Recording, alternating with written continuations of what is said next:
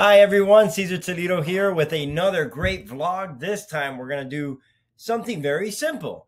What is it? A simple guide to SEO best practice. Now, a lot of the videos that we talk about incorporate what I'm about to talk to you right now. But if you've missed those videos, and judging by the amount of people who don't watch it, I would assume you have, then uh, this is just another quick video that we can do in order uh, for you to kind of everything is tied together and you can see it. So, uh, you know, first thing I want to start off with um, I'm sure you know that there are over 4.8 billion internet users worldwide. So that's about over 60% of the world's population, uh, making being online an essential requirement for any modern business. So without further ado, let's start with the first thing that you should do uh, eh, for SEO best practices. So you should know this make your website secure. Website security is a hot topic amongst uh, both site owners and online consumers. And I'm sure you've seen it. You you go online and all of a sudden it says, "Beware, this site is not secured." And if you kind of want to give the site another chance, you give you you click on it again and you wait to see and it, and it comes out like it like all of a sudden Google made a mistake. No, the site isn't secure. Now, a lot of times the site is fine. It's just it's not secure, and you want to make sure that you always have that HTTPS and a lot of different websites uh, or platforms where you build them uh, give you the option to get your website secured. So make sure it's secured. Um, and if you don't have a lock icon displaying in your browser's bar before your website name, then you need to make sure that you obtain that SSL certificate that, again, a lot of these platforms um, uh, will show you. And it's that little lock mechanism. You'll see it. Look at the, the, the website, and on the, on the left hand side, you'll see like a little lock. If it's not there, that means you're not secured. Um, the second best practice is conduct keyword research. That's very important. I've talked about this many times. There are tons of different platforms where you can conduct keyword research. What's the keyword research? Is how are people searching your niche? We are an SEO company and a website design company. So obviously, we're going to go on these platforms and we're going to put in uh, website design, how to create your website, what to do for SEO, SEO, uh, search engine optimization, and it'll and that that platform will go ahead and give us a whole bunch of um, keywords uh, ranked by the the ones that are being searched more per month.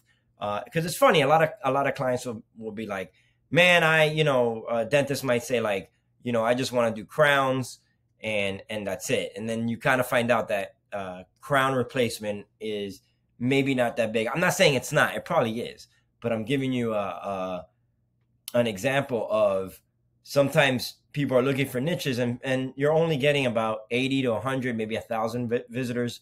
I'm sorry not visitors. A thousand uh, people searching a month for that.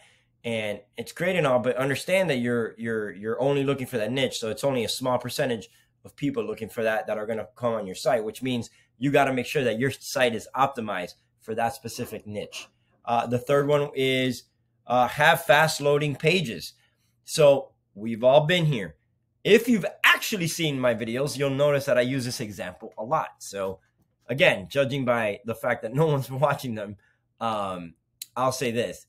We've all been on a site that we click, right? We do a search, boom, find the site, top three, top five, and it is just taking forever to load. And by forever, I mean seconds, which is really still fast, but um, it doesn't load.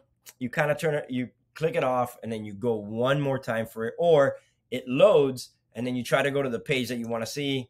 It's not opening, so you give it another shot. After about the second time, you are done. So goodbye, uh, potential sale, uh, potential client, because we're just not we're not ready or we're not willing to wait, and we shouldn't. And so make sure that you have fast loading pages. So when you optimize your page, uh, loading speeds uh, seem to increase your SEO sorry SEO results. So um, you can immediately capture customers' interest, and that's that's all I'm talking about right now. Um, the next one is consider the user experience. Th- this obviously might sound obvious from what you can see, see but um, most of the times uh, these SEO techniques get overlooked. So ensure that your website provides a fantastic user experience. For example, you may find it easy to locate the product pages on your site because you were involved in the design. But does the person visiting can they find your product pages? And let's be honest, what are you looking for? Mostly when you're looking for stuff, you're looking for images. Well, you're looking to see what the company does. Then you're looking for images, and you're probably looking for pricing, uh, maybe some um, some Google reviews or, or some sort of reviews on, on your website. And then you're looking for a contact. If you go on your site, then the best thing to do is build your site, give it to somebody that is not involved in the site pro in the building process, give it to anybody that is not involved in it. Sorry to repeat myself, and have them see if they can locate something on your site. If they're having a hard time, I can tell you right now, a lot of people are going to have a hard time with it. So make sure you do that. Uh, the next one is huge. I just sent out a video about this, uh, I think a week ago. I'm not 100% sure since I've done a couple of these, but build your backlinks. Uh, this SEO technique may have been around for a long time, but it's increasing now more than ever. We get vendors constantly saying, hey, you know, you want us to build your backlink. It is huge. And you can also uh, do things like guest posting. And if you don't know what that is, then maybe you should watch the other videos that I've done. But I'll tell you here, guest posting is it's easy. Um, let's say we're in Athens. Let's say the Athens newspaper, the online uh, Banner Herald, or whatever they call it now. Um, they do an article on us. They put Bipper Media on their website. Well, now we're gaining traffic, and, and we're gaining um, DA traffic to the site. I'm not saying that correctly, but basically it's boosting our site because now we have a backlink from another high authoritative um, company. Um, on to the next one. We're going to go ahead and post high quality content. So far too many businesses produce a large amount of content that just doesn't provide value to custom consumers. Not only is this a waste of time, but it can actually harm your SEO efforts. So make sure with that keyword research that you're doing, you're able to incorporate those keywords and write some good quality content. If you are not a writer, that's fine. Hire somebody. Spend some of that money to make sure you have a professional writer that can go ahead and use the keywords that you've provided them to help you get found on uh, online.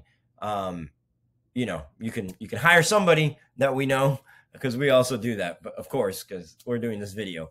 But um, it is very important to have high quality uh, content out there. And then make sure you watch out for new SEO best practice trends.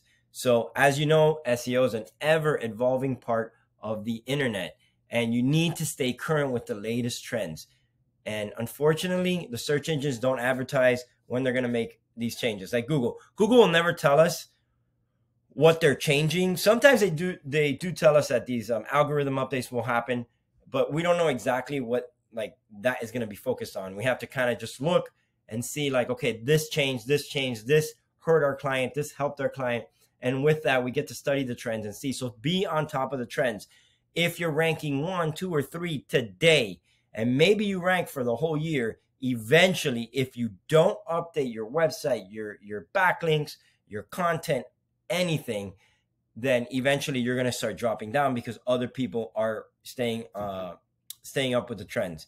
So I believe that's it. Yes, it is. And uh, just like that, our awesome business development director and our business development account executive will be standing by. So go ahead and contact Bipper at sales at bippermedia.com or support at bippermedia.com or give us a call. We'll be more than happy to sit and talk to you more about how we can help increase your visibility on Google search. Thank you.